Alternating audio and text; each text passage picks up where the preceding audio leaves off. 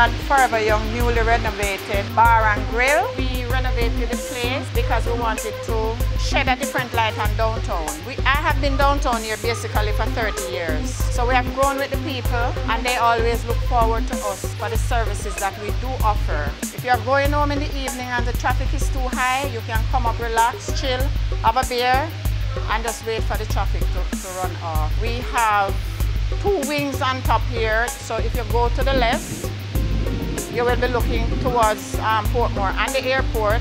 And if you go to the right, you can be looking up in Beverly Hills, New Kingston, Norbrook, those places up here.